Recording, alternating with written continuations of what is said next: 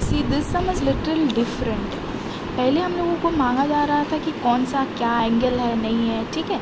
इसमें बोला गया है A B is parallel to C D और मांगा है कि दिखाओ, कि प्रूव करो जी एल एच एम के साथ पैरेलल है, ठीक है? ये पूछा है।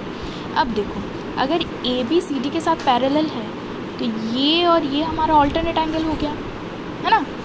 ये और ये हमारा ऑल्टरनेट एंगल हो गया। और बोल दिया गया है कि जी एल इसको बाइसेप्ट करता है और एच एम इसको बाइसेप्ट करता है। मतलब हाफ़ ऑफ़ दिस ये पूरा एंगल का हाफ़ हुआ और ये पूरा एंगल का हाफ़ हुआ। तो फिर ये और ये इक्वल हुआ कि नहीं? है ना? और ये दोनों अगर इक्वल हो गया तो ये दोनों पैरेलल हो गया क्योंकि ये और ये ऑल्टरनेट एंगल बन गया तब। ये और ये पैरेलल हो गया और ये और ये ऑल्टरनेट एंगल बन गया तब। ठीक है?